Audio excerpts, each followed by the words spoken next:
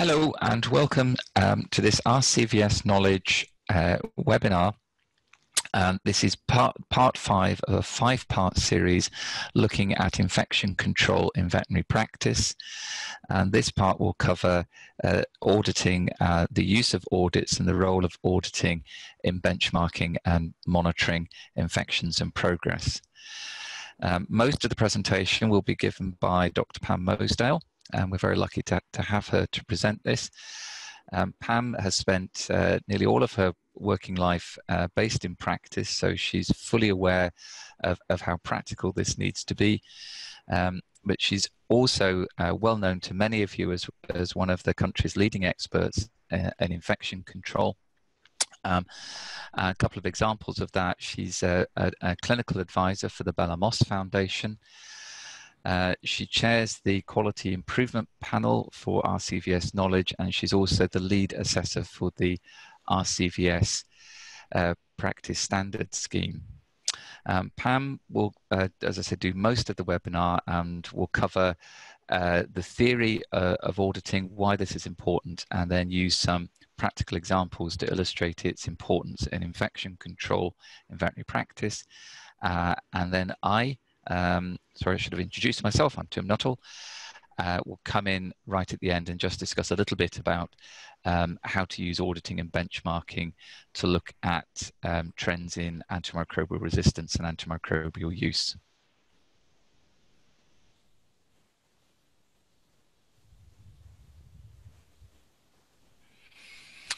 So RCVS knowledge um, uh, is an organization that is committed to advancing the quality of, of uh, veterinary care um, for animals, their owners, and the wider society. And it does this by championing the use of evidence based uh, approaches to inspire a culture of continuous learning and quality improvement. And we do that by making our resources widely available to the veterinary profession and the wider public. Um, we must note that we are a separate organisation to the Royal College of Veterinary Surgeons, uh, even though we have RCVS uh, in our name. And if you go to the website at uh, www.rcvsknowledge.org, you can find out about more um, about us and our activities, and then also uh, get access to the incredibly wide range of support materials that are there. As I said earlier, this is part five uh, in a five part series. Um, so just draw your attention to, to the whole series uh, of webinars that have been looking at infection control. Um, in, and the first webinar looked at the importance of infection control and steps that uh, might need to be taken to enhance this uh, and adapt to working during the COVID-19 pandemic.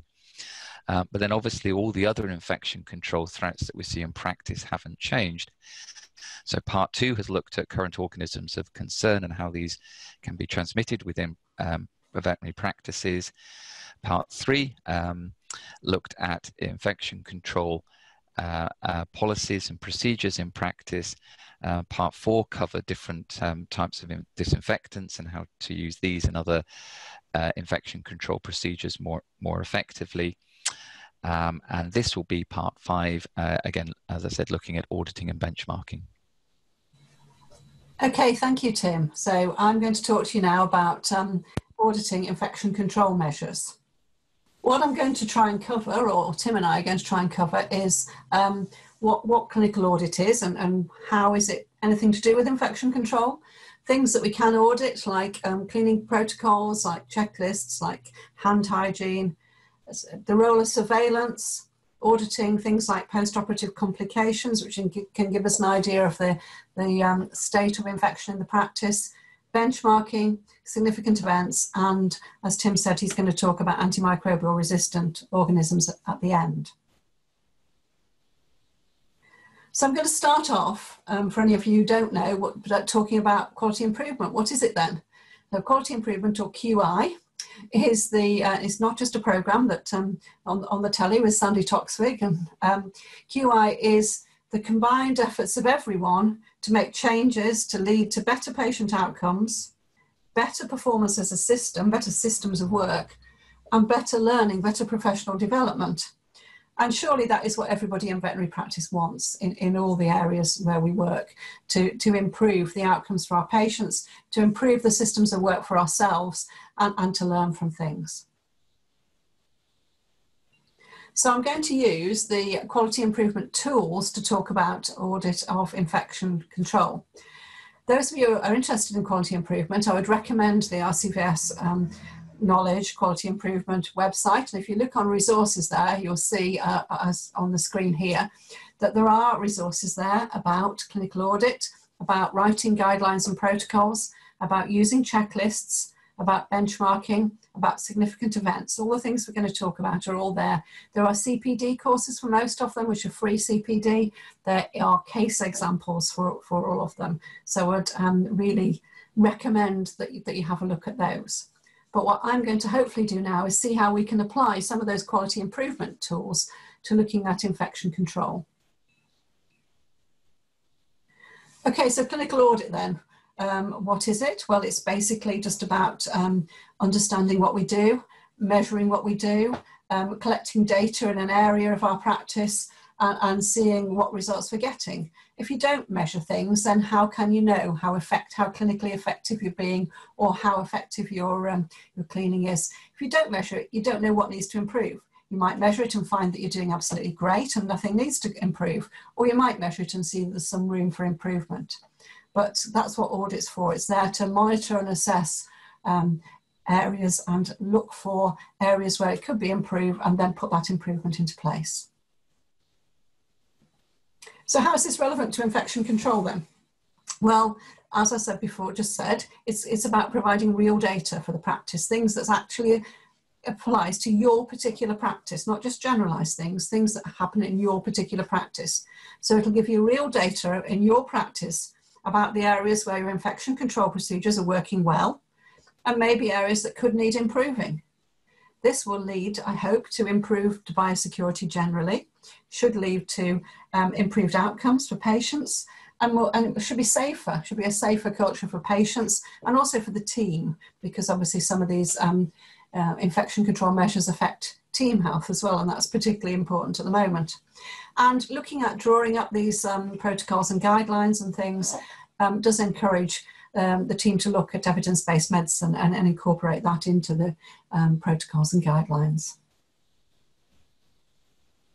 So this is, I'm sure you've all seen the clinical audit cycle lots of times, but this one I really like, um, rather than the traditional cycle. This is the one that uh, came from originally from the Royal College of General Practitioners, but it's also the one that RCVS Knowledge use. And basically you choose a topic, um, decide what you're going to measure. It's got to be something that happens very um, very free, fairly frequently, or, or it's going to take an awful long time to collect your data.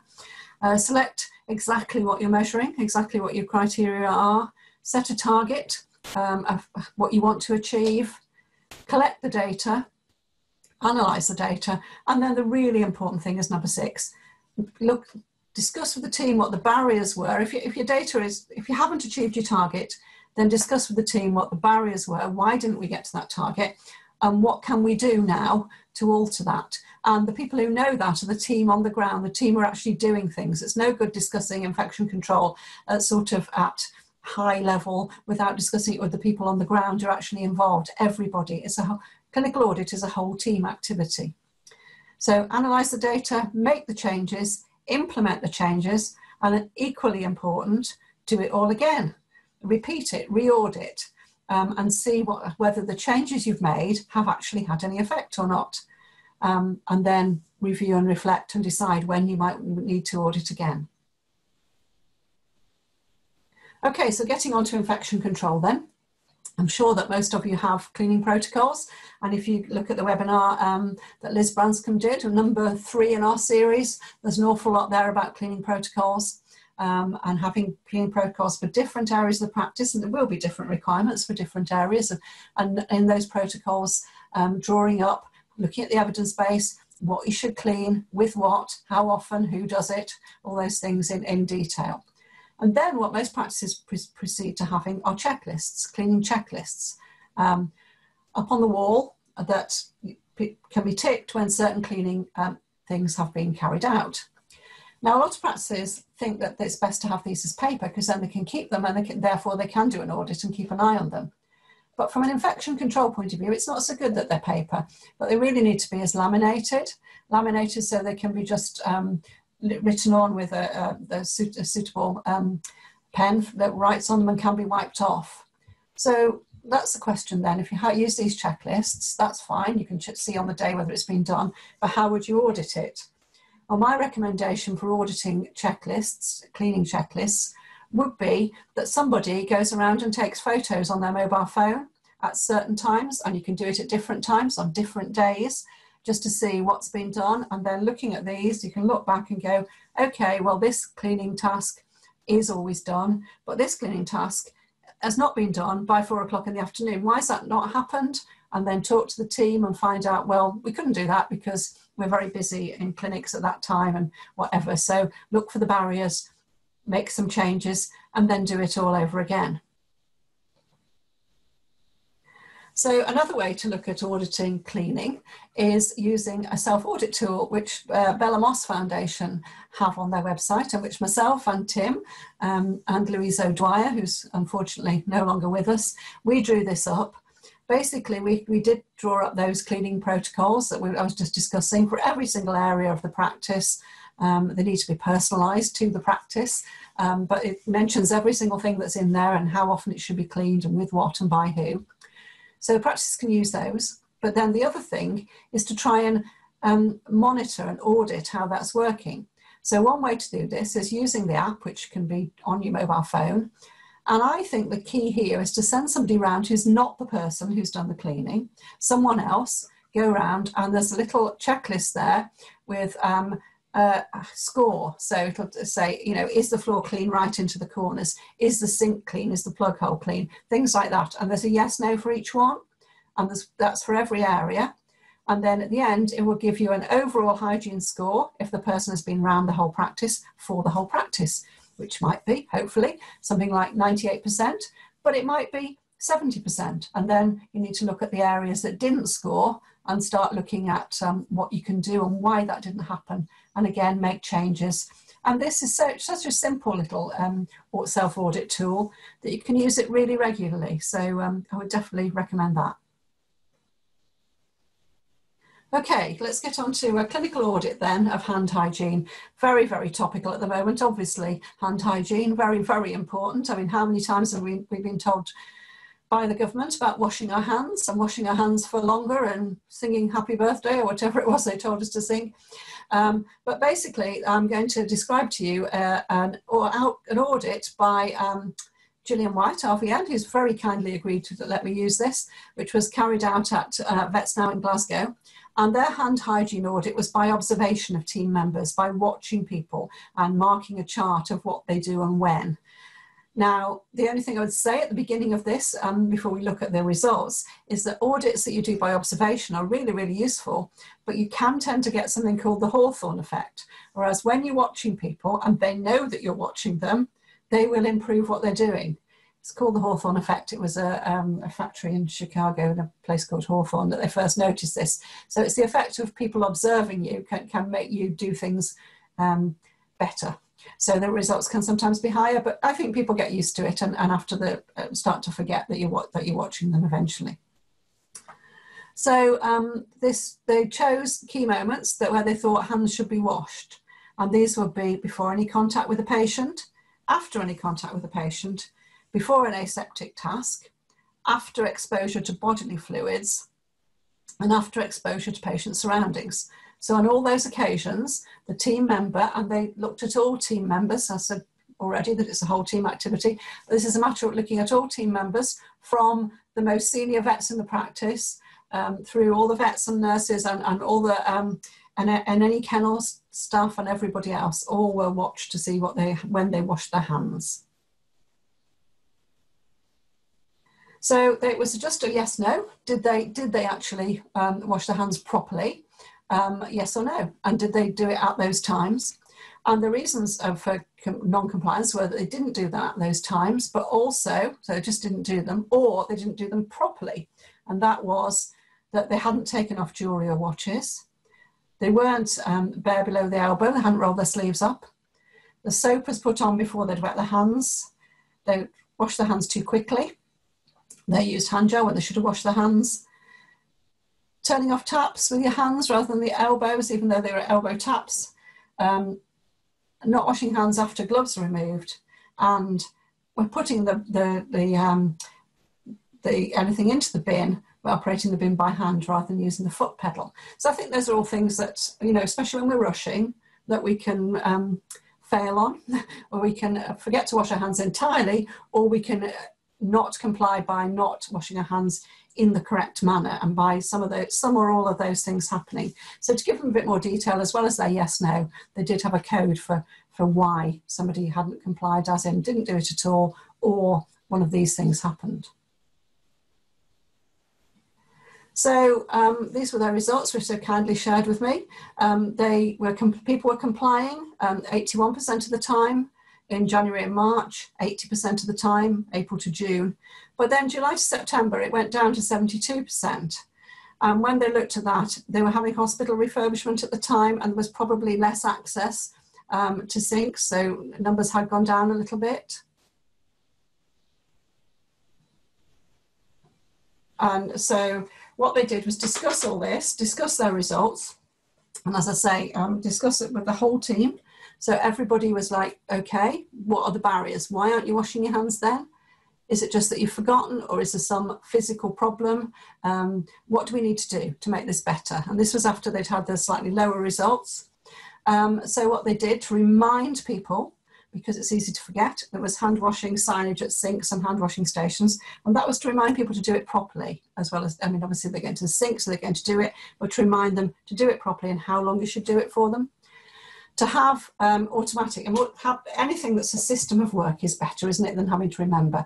And so having automatic things is much, much better. So systems of work here are having the, um, the elbow taps, the, um, the magic eye taps, they're also having automatic soap dispensers, so you don't, the team members don't need to touch taps, they don't need to touch soap pump devices.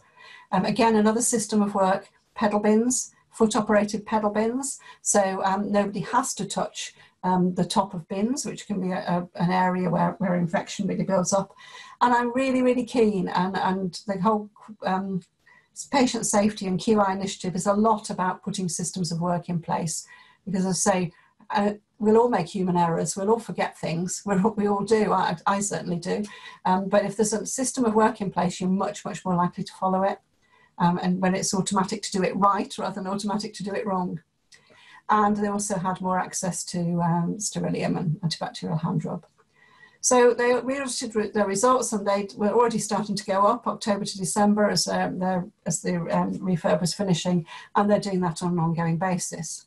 So I think that's a lovely, easy hand, or, um, hand washing audit that anybody in practice could do. You just pick a day and somebody goes around and checks um, what, what people are doing. Uh, and, and then you actually have some evidence to take to the meeting because if you just start discussing at a practice meeting, okay, let's talk about hand washing. Everybody's going to go, yeah, yeah, we, we do that. We wash our hands properly. Of course they are because we all think we're doing it right. Um, but having some actual evidence, not to blame any individuals, but to say, right, well, you know, only only 72% of you are actually washing your hands at the right time. Um, it's a lot more powerful, and then you can get everybody on board, and everybody together can decide what you do. Rather, it's not a matter of um, blaming somebody for not doing it. It's a matter of getting the whole team on board to decide what can we do to make it easier for us to do this. And the other thing is client reassurance, isn't it? Now, this is um, a screenshot I, I took when I um, went with my husband for an appointment to our local local hospital. And in one of those TVs they have in reception that goes round and round, and we had to wait for quite a while. So I did see it go round a few times, and enough time on the second or third occasion of it going round to take a couple of screenshots. So this um, human hospital was boasting that in the third quarter of 2019, they scored 95% on hand hygiene compliance, which is great and some, definitely something to boast about. But wouldn't it be nice if your practice could be reassuring your clients, especially in current circumstances, about hand hygiene in your practice? So I think it can be, um, you know, as well as being very, very important from a clinical point of view, it can be a good point to actually um, be promoting the practice. So the, we talk a little bit about um, ways that we can be sure that, in, that, in, that the environment is clean. And one way is by active surveillance, which is um, doing things like taking swabs and culturing um, and using things like the um, ATP monitors, which will look at residue of organic material, or marking surfaces with fluorescent markers, and then doing the normal cleaning, and then going along with a, a UV light, Woods lamp, very handy, just to see whether the fluorescent mark is still there. But I'm not going to go into that in detail because this has been covered in lots of detail um, by Liz Branscombe in Infection Control 3. So those of you who are interested in active surveillance of the environment, I would recommend, if you haven't already watched it, to watch our third webinar, and, they, and Liz will talk about that quite a lot more for you. But what we can also do is passive surveillance. So when we do things like audit surgical site infections or audit the complications of procedures, um, or monitor antimicrobial use patterns and bacterial culture, we are actually looking at those things which will give us an idea of how our whole practice hygiene is because if the practice hygiene is not good there are going to be more surgical site infections more complications and there's going to be more antimicrobial use and, and we're going to see the bacteria on the culture so for this section i'm going to talk about uh, one and two and later tim will talk to us about three and four so one way to um, do passive surveillance is to audit post-operative complications of routine neutering procedures. And there is a very good um, uh, list of how we would do this on, on the vet audit website, which is, is, is, on RCVS Knowledge website. And basically what has to happen is that everybody who's looking at um, doing post-op checkups, everybody in the practice is doing them, has to use the same criteria in order to um, classify what they see. So this is the criteria on, on the vet audit website and it's, um, it's quite simple. But the main, main thing is before starting this, as with all clinical audit, is to have a meeting, discuss with the team what you're going to do, explain how it's going to happen, explain that this is not about branding vet A or vet B as having more post-op infections than anybody else. It's about looking at whole practice performance. And it's very, very important that everybody understands this classification, zero to five, because if the information is not put into the right classes, then the information we get out at the other end is not going to be useful. So using this, you can say, well, group zero ran off. Group one, absolutely fine, no complications. Group two, well, it's a little bit pink. Oh dear, it's a little bit pink, but it's fine. We don't need to do anything. Group three, oh dear, we've got um, infection or um, maybe we've got something that's very painful. I need to use medical treatment. Group four, oh dear, we're going to have to resuture the wound because the, the sutures are out and, and, and there's a surgical complication. And group five, oh dear, we've lost the animal. So that's quite simple, but it is important that everybody in the team knows those, um, those groups um, if they're going to use it. So it's a really easy way for practices to do this passive surveillance, to do this audit of post-op complications of routine neutering procedures, and a very useful thing to do. So once they've done it, once the practice has done their own um, audit of post-op complications and got their own figures, then if they wish, they can submit them to the National Audit for Small Animal Neutering, where the, the, the practice's own figures can be benchmarked against those figures for other practices. So it's really, really useful because we're all a little bit competitive, aren't we? So we like to think that we're doing just as well as our as our neighbours. But also it is really useful to, to look at trends, etc. So this is post-operative complications of routine neutering in cats, dogs and rabbits now. Rabbits have been added. And you can look at the results of this on the RCVS website. And even more excitingly, this is, there's plans for this to be expanded to include other surgical procedures going forward. So that should be even better. So looking at the results there, 75%, absolutely complication free. That's great. Um, spays, more complications than castrates in cats and dogs. I think we, that's what we'd expect. But the reverse in rabbits, that's interesting.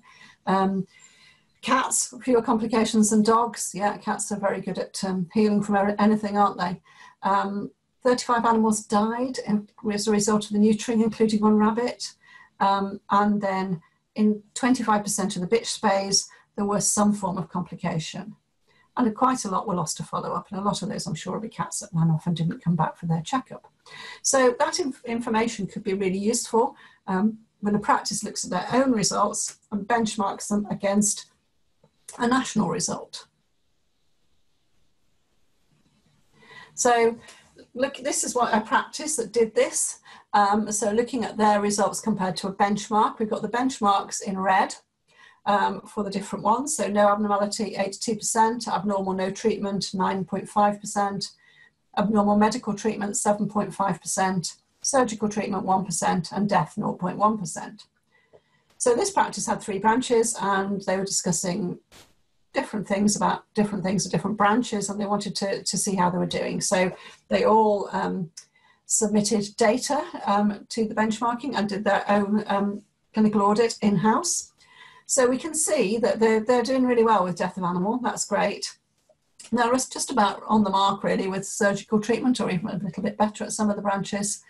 Um, but their medical treatment was quite a lot higher.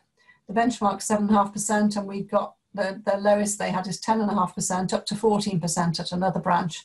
So overall, their medical treatment was quite a lot higher than the benchmark. So this led this practice to start thinking, I wonder what why that is then. So they then started looking for those ones in, the, in that group three um, um, to find out what it was that what the medical treatment was and they found out in this particular practice that the majority and the majority by far the medical treatment was antibiotic and in some cases it was non-steroidal anti-inflammatory but it was often antibiotic. So this led them then to look at the practice hygiene to look at um, cleaning protocols, to look at um, pre-surgical prep, uh, which again Liz covers in her webinar, um, to look at all those things um, and to start thinking, what can we change? And then they're going to carry on with not only doing their own audit, but carry on with submitting it to the um, benchmarking, to the national audit, so having done this has not only shown them what's going on in their own practice, but they can compare it and they can start looking at what they can do and what barriers there might be um, to improving that. So there's lots of other case examples, loads of them on the RCVS website. Have a look at um, Louise Northway, um, who was the Knowledge Award champion, um, who had an audit of, a very um, comprehensive audit of post-operative complications and she reckoned that assessing, well, she, she reckoned, she knew from her results that assessing hygiene and post-op care guidelines, that's the other thing, giving owners guidelines of how to look after the animals when they get home, cut complications by half, which is amazing, isn't it? Absolutely amazing, just doing an audit. And another um, um, Knowledge Award champion, Phil Vets, did a hygiene audit by uh, people self-assessing and by a, a questionnaire um, that they filled in about what they did. So you can do it by observing, as the vets now did, did one did, or, or by self-assessment. Um, so there's some great case examples there. Please, please have a look. It might inspire you with some ideas to use in your own practice, I hope. And again, client reassurance. Uh, again, same thing, same hospital, and so I took this picture as well. Um, and they were very pleased to say that although using the national benchmark of 5% of patients undergoing surgical procedures develop a surgical site infection, that their results in November 2019 was 0.9%. Again, something, something to definitely um, crow about and something that you can share with your clients. And I think it also has um, a useful role in informed consent when clients go, okay, what are the risks? If you can talk about risks, but say, you know, you can actually tell them what the uh, what the risk of post-op complications are in your practice normally. Um, and that's and the important thing with consent is it is informed and we should be explaining all the risks. So I think that's um, they're really useful things to do. They can be used very positively. Okay, I'm going to move on to significant event audit now. Um, in human healthcare, they do um, they have critical incidents where things have there's been harm to, to patients and and they those are analysed and they have M&M, morbidity and mortality meetings, not the sweets, um, M&M meetings to, to look at clinical things that go wrong. But in GP practice, what they started to do was look at what they defined as significant events, which can be anything and that thought by anyone in the practice team to be significant in the care of patients or the conduct of the practice. So it's not just about anaesthetic deaths or um, you know, major dispensing errors. It's not just about those things. It's also about things um, like hygiene and about things like um, uh, lab samples that don't go off or um, you know, bodies that go for the wrong cremation or client complaints, all those kind of things. And also positive things, look at positive things too and how well they've gone. So it's a form of clinical audit, but it's a qualitative rather than quantitative form. So there's no numbers involved here. I like this one because there's no numbers. Um, but still needs a structured framework, still need to work through it. And it's looking at one case, one single event from beginning to end and drilling down into it and looking for the root causes and trying to find out exactly what happened um, and then making some changes. So our significant event audit, sorry, acronym there, our significant event audit um, is going to be about Barney. Barney um, had been uh, had a, an encounter with a car, unfortunately, and finished up with an orthopedic procedure which didn't heal properly, had a non-healing wound. Um, it had been going on for a while, so practice thought, okay, we need to swab this. Took a swab, but unfortunately, this is where the first of the errors occurred. The swab was never sent to the lab. Um, time went on. Um, they didn't realise the swab hadn't gone to the lab because they have got a system following it, which we'll talk about in a minute. Never realised it hadn't gone.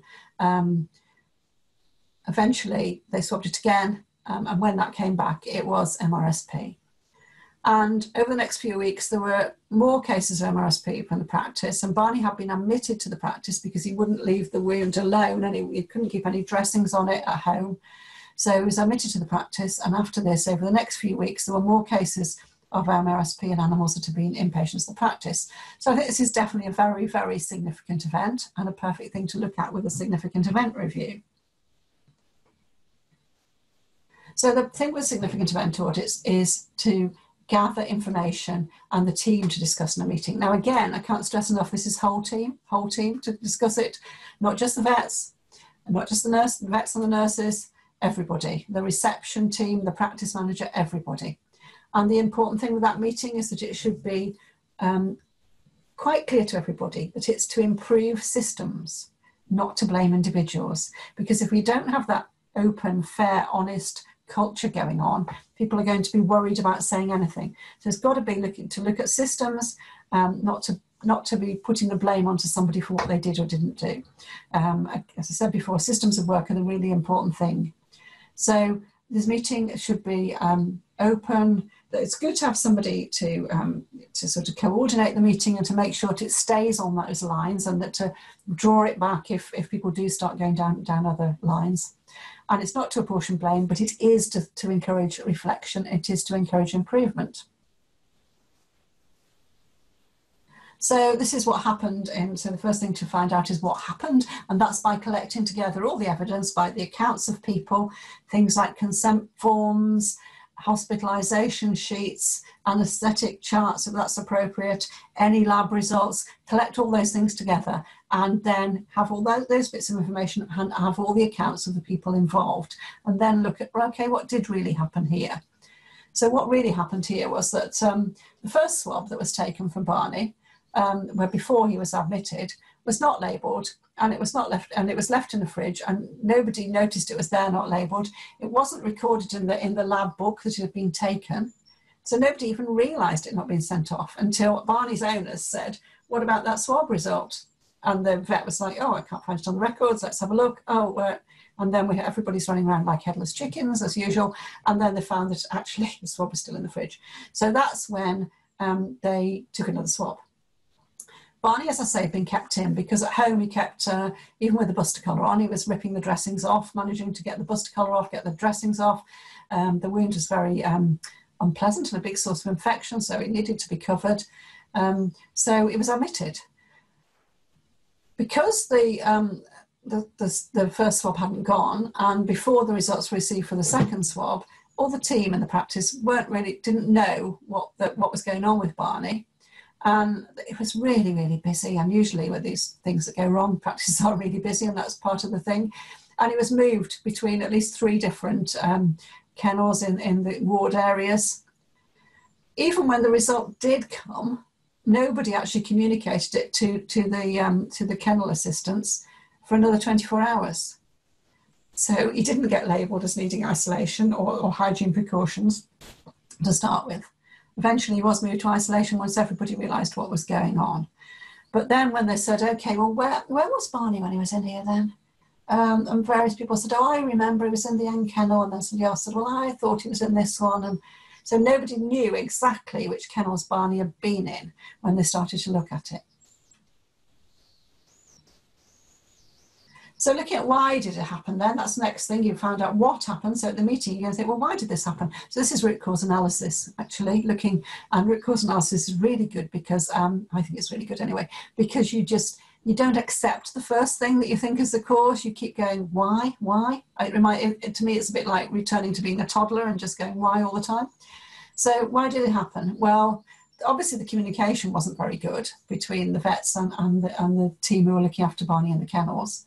Um, so they didn't label him for isolation. And but the real uh, looking at that was because the, the, they had they'd not got the lab results. They hadn't got the lab results because the first sample didn't go off. They didn't have a lab tracking system. That was a, that was a really big thing here. If they'd had a lab tracking system that followed a lab sample from when it was taken to when it went to the lab to when you got the results to when the owner, the vet was told the results were there to when the owner was informed that the results were there, then they would have seen that the first, somebody would have noticed that that first sample didn't go. So a lab tracking system was definitely not there.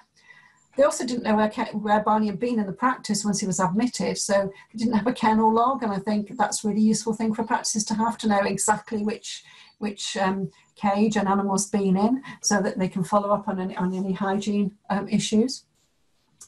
They didn't have any protocols for, for MRSP cases, for handling, how they would move them around the practice, how they would nurse them. And again, I can recommend um, webinar three for that because um, Liz Branscombe covered that in detail about moving infected cases around the practice and, and protocols for handling. So please watch that one. The other thing she covered was having somebody in the in the practice um, responsible for infection control and for training the team in infection control. And that person is often the person who's also responsible for auditing infection control. But this practice didn't have everyone, anyone.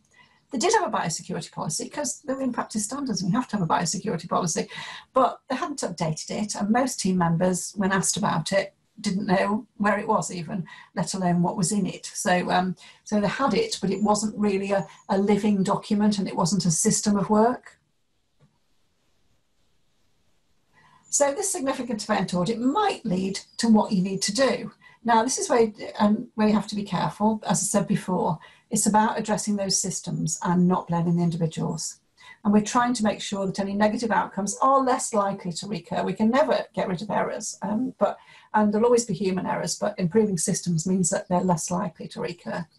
So there's a few themes usually that come from significant event audits. Um, they might lead to realizing that you need some training um, and CPD, and I think here this practice that would be the case. They might lead to writing new guidelines or protocols um, or changing their existing guidelines or protocols um, because they're either not used um, uh, or are not appropriate. And they might lead to doing some um, other audits, maybe some outcome audits. So in this practice, they looked at it and, well, what did they change? Well, basically, they got a, a, a person in, to be in charge of infection control. They updated their biosecurity policy and updated all their cleaning protocols and then made sure everybody actually knew about them, had the team training, because no point having bits of paper that say what you're going to do if it's not what you're actually going to do. Um, and that's the important thing. So team training and also team inputted into those updates on the um, on the pr- protocols and, and the biosecurity policy because again it's no point somebody um, on high writing it. It's got to have input from the people who are actually doing it. Um, they um, did start to have a kennel log um, to, so they knew where animals had been. They also started a lab tracking system a lab log so that they did know it, exactly when samples arrived. And you know and this is useful for so many other things as well as infection control because samples going astray can be a real problem um, they started auditing cleaning schedules, how they were uh, auditing the checklists. They started um, uh, an audit of, of routine neutering um, to do some surveillance that way. and they started looking at the culture and sensitivity of all samples sent away to, by the practice and looking at when they when they got results on um, antimicrobial resistance um, and started looking at practice antibiotic prescribing policy. So I think overall, this incident, which must have been very negative at the time, led to an awful lot of good positive changes, which I'm sure improved biosecurity in the practice and made everybody in the practice feel better about, um, about infection control. So I'd really recommend that to, to, um, to anyone who's, um, you know, has these kind of incidents to use them positively. So I'm now going to hand over to Tim again, who's going to talk to us a bit more about passive surveillance.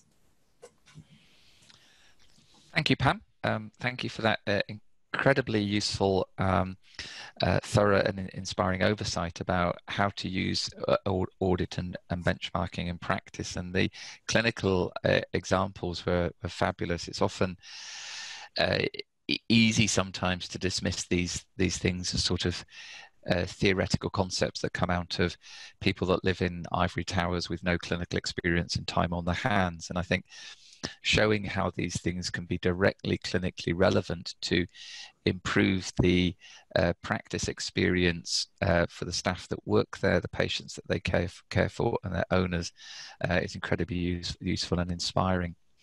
Um, and uh, what I'm going to do uh, just to finish up this presentation is look at uh, just some brief examples of, of how these techniques can be used to look at um, monitoring uh, antimicrobial infections and antimicrobial use patterns. And this very much follows on from, from Barney's case.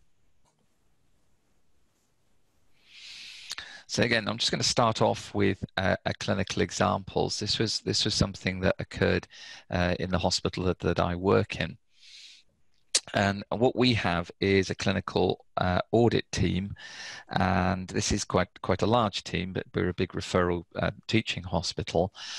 Um, and one of the jobs that I have on that team is to uh, review uh, the antimicrobial resistant and unusual uh, infections. Um, and in that group, I work with our clinical microbiologist and our, and our lab team as well. And you can do this quite easily in practice. So again, it depends on the frequency of your samples, how many are coming through every month, um, whether an individual does this or a team does this, whether you review all the cultures that, that, that are, are coming back, or whether you flag um, alerts. Now, what we tend to do simply because of the sheer volume of cultures that are, that are coming in and out of the hospitals uh, is we, we have an immediate alert system.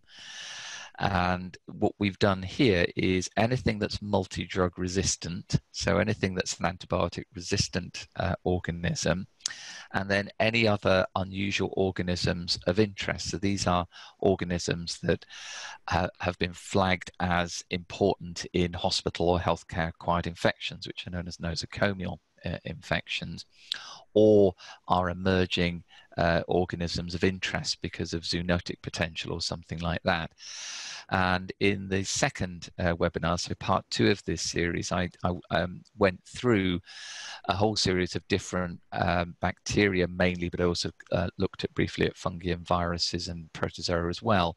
And again, you can have a look at that webinar and, uh, you know, look at your practice type of work that you do um, and, and select your sort of organisms uh, of interest.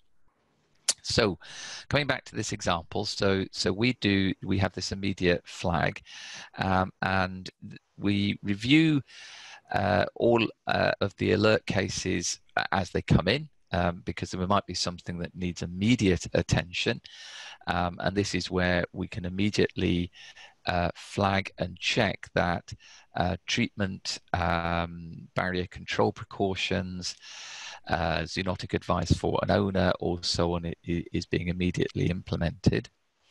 And then at a level up from that, we take a monthly look back, and that allows us to spot uh, any emerging trends very rapidly. So in this example, we, we picked up, we'd seen five Burkholderia cepacia uh, infections in one month. This is quite an unusual uh, bacteria. It's related to Pseudomonas. Uh, it's quite widespread in uh, water sources and, and sources of stagnant water and things like that. And it's generally an environmental organism, but it can also be an opportunistic pathogen and it can cause, cause quite serious infections. Um, but it's not a particularly common infection. So this was an immediate um, cause of interest. So what we did is looked at the five cases in, in detail, going back through their clinical records, and very quickly it became apparent that they'd all undergone bron uh, bronchoscopy within uh, a, a, very close time period. So that allowed us to uh, home our um, our investigation, if you will, um, and check into the bronchoscopy area. And to cut a long story short, we took a whole load, load of samples from there and discovered uh, the, the, the culture in the flexible bronchoscope. So the next thing we did um, was, was obviously suspended all use uh, of that. And again, obviously this is going to have a clinical impact. So at this point, we want to be moving fairly quickly by working as a team. Um, so this is where we um, uh, we had clinicians involved. Uh, we had the infection control team. Um, we uh, had some epidemiology uh, um, expertise as well, and then obviously had, we had the clinical microbiologist in there. And again, cut a long story short, um, we reviewed all the procedures, and this seemed to have shown that that the correct procedures are being followed. So it wasn't that somebody was skipping cleaning steps or anything like that. So we then looked at the automated cleaning machine, um, and we cultured the the same bacteria from that. Um, and then by running diagnostics on the machine, we discovered that actually had a fault in its cleaning cycle uh, in that it wasn't uh, maintaining temperature. And that, that had allowed the bacteria to establish in the, uh, the water bath. Um, and that was immediately uh, cleared up. Um, and so within, uh, and this, this was um, within a, a, week. So within a week, we'd gone from identifying the problem um, to discovering uh, the cause, correcting that, and then back on to our, our passive surveillance again. So that was just a very good clinical example of how this um, passive surveillance can alert you to take um, active measures in practice. So this is a, a another thing we do. So um, as I said, we, we have that sort of immediate flag um, for the very serious um, organisms, and this is to try and avoid any, any serious events further down the line.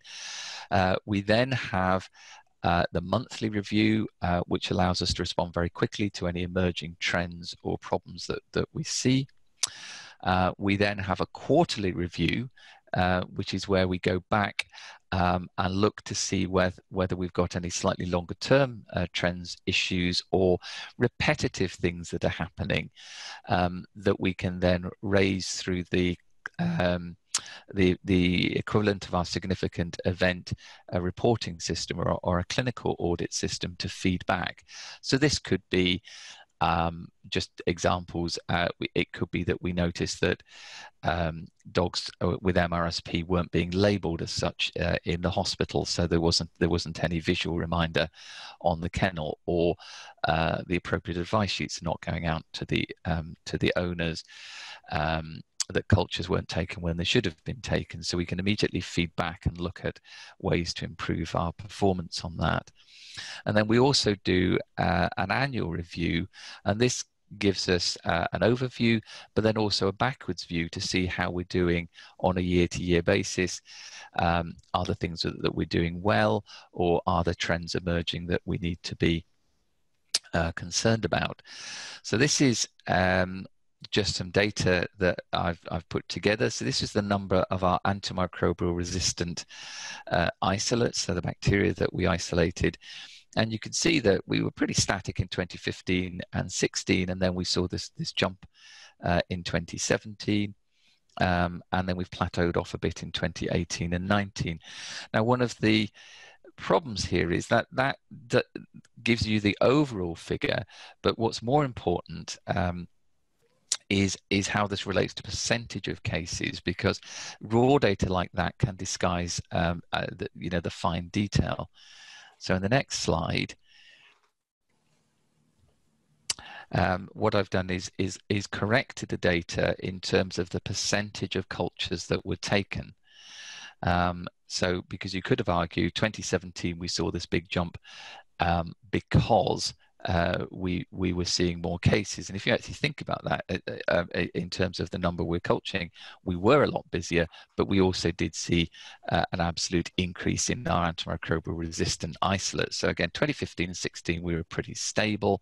So there's a big jump in 2017, and that's when we really started looking at um, tidying up our infection con uh, control rules, uh, looking at our training, looking at our uh, auditing, um, and partly because at, at, this stage we we'd seen a big um, increase in the number of cases we were seeing, and consequently the number of staff that we have in the hospital uh, as well. So it was time time to have a look at that because things can easily get um, lost in the in the um, in the woodwork.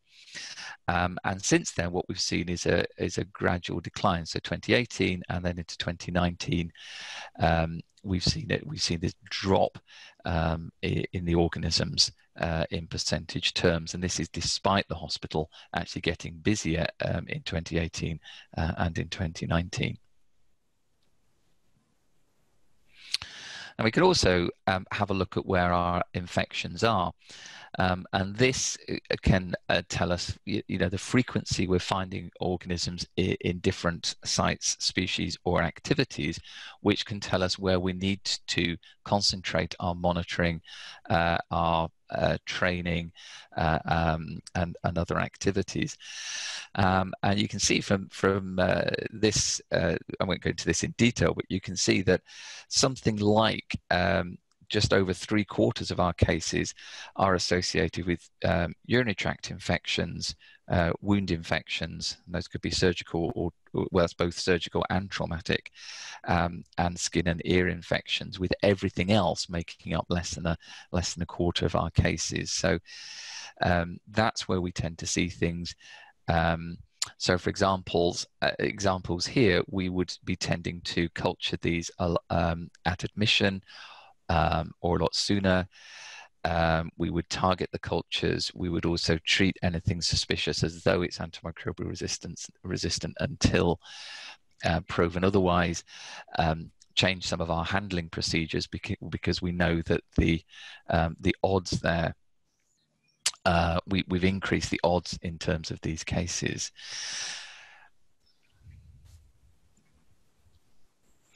And then knowing what we've got, so what uh, what bacteria um, are there in here can also be useful um, because this can look at our treatment procedures and also our disinfection procedures as well. We can look at zoonotic risk, we can look at routes of transmission, and again, target effective control measures uh, on there. So, uh, just looking at, at um, this group, you can see that the methicillin resistant staphylococci, so that's MRSA, MRSP, and then we've got some staph and some coagulase negative staphs uh, as well, that's the MRSE, um, make up um, something like about a third of our um, um organisms. And we're, but what we're seeing is, um, and we've we've seen an increase in the number of uh, gram, uh, antimicrobial resistant gram-negative organisms. So those are the ESBLs, which is the extended spectrum beta-lactamase producers, and the AMP-C producers, and the little other group there are other organ other organisms of interest. Morganella, for example, is um, an emerging nosocomial um, pathogen. Um, so if you remember back a couple of slides ago, I said that we'd seen um, quite a substantial decrease in the uh, percentage um, in terms of our caseload in the percentage of antimicrobial um, uh, resistant infections. And I haven't shown you all the data, but hidden within that data was we've seen a very substantial drop um, in the, uh, the, the number of methicillin resistant staphylococci we're seeing, predominantly MRSA and MRSP. Um, and that is some it has also been seen in human hospitals and this is because we're often con concentrating on better handling of patients uh, better hygiene better hand washing and better uh, surface disinfection um, but what this uh, graph indicated and in the next slide uh, is that we'd actually seen um, a relative increase in these antimicrobial resistant gram negative bacteria. And when I looked at the absolute numbers, disguised within our overall drop here was an absolute increase uh, in both the uh, AMP-C producing gram negatives and the ESBL um, uh, producing gram ne negatives. And these are gut-borne bacteria um, and controlling them is a little bit different and, and in some ways can be a little bit more challenging than the, the more surface-borne staphylococcal bacteria. And again, this trend towards the, these um, gram-negative organisms uh, is something that's being seen in human medicine. And although our numbers aren't huge at the moment, it's something very much we're keeping an eye on and beginning to review our animal handling and infection control procedures to take uh, these gram-negative bacteria uh, into account. And one of the important drivers um, for the increase in resistance amongst these gut bacteria is antimicrobial use. And hand in hand with um, clinical audit and monitoring uh, of antimicrobial resistant bacteria um, must go um, monitoring of antimicrobial use and antimicrobial stewardship because at the end of the day, uh, to use that terrible cliche, um, the the most important way to control these bacteria is not to have them in the first place, and this means using um, fewer syst um, systemic antibiotics and, and uh, only using them where necessary, um, and trending towards the the most first tier or the lowest tier, most narrow spectrum drugs that we can wherever possible. Uh, and that means again you have to know how the practice is doing in terms of antimicrobial use. And in the next slide, uh, this is just an illustration um, of how you can start to do this. Now, you can do it through your own uh, records. It's just for a lot of practices that's actually quite difficult because abstracting uh, the data about uh, the use of individual antibiotics and, and treatment courses um, can be time consuming uh, and difficult to analyze and and uh, again it depends a bit on your practice software um, but the and the and the sales data uh, which is the easiest way to do it tends to give a very crude picture because it'll tell you how much antibiotic you're using but it really what's more important is how that is being used and who it's being used in so it's the courses of treatment um, that, that are more important than, than the simple headline overall use figures, although they, they can give a crude, a crude estimate. Now, one way um, that a practice can be helped with this is by engaging with the um, MySavsNet AMR program. And uh, this is run by uh, the SavsNet group, um, who uh, uh, run out of the University of Liverpool, initially supported by um, BSAVA and uh, they uh, work by using practice interrogating practice software systems um, and savsnet does a whole ton of, stuff where they can look at almost anything you do um, and, and, and um, abstract data on that, which has been incredibly useful in looking at big data projects in um, all sorts of angles of, um, of animal health and veterinary practice. Uh, and they do this by inserting what in effect is a is a virus, although I know they don't like to use that term because it has negative connotations, uh, onto your practice software, and then that can be activated to um, uh, abstract data and then also prompt some data uh, inputs as well. And the way the MySavsNet AMR works is by looking at antimicrobial uh, use, and then what they do is provide uh, information like this, which allows you to um, benchmark uh, the, the practice use of antimicrobials uh, against all of the other practices that, that, that are involved in, in the system.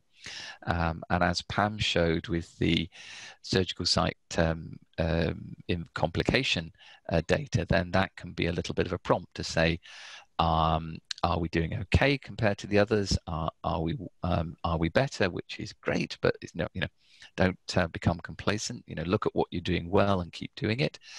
Um, or is the use creeping up in relative terms? At which point that would be a prompt to say, um, let's have a look at our procedures. Is there something we can do differently? Is there something that we can do better um, to to encourage better stewardship? So um, uh, I would just personally like to thank um, uh, Pam for, for her presentation, which, as, as I said, was uh, it was excellent, thorough, uh, and inspiring. Um, and I say clinical audit tends to be the the you know the, the forgotten cousin really uh, of infection control because um, it it can often seem like hard work. Um, it can seem difficult to organize uh, and implement. And I think Pam has shown how how this, you know, the tools that can be used to help you do this, and how it really is an integral part in, in effective infection control programs. Uh, and I'd also like to thank RCVS Knowledge uh, for supporting um, the, the, uh, the, the, this program. Um, for looking for supporting the quality improvement programs, um, infection and infection control, and other aspects of, of veterinary practice, and for organising this series of seminars. I say there's five now in the series, which will all be available uh, on the website and could be very very useful uh, for training. Uh, if you have any questions, the email is there to um, to get in touch with us, and we'll do our best to answer them as quickly as we can. Thank you again.